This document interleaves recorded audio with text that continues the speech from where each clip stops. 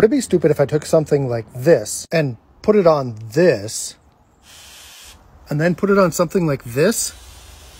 Or would it be the greatest idea of all time?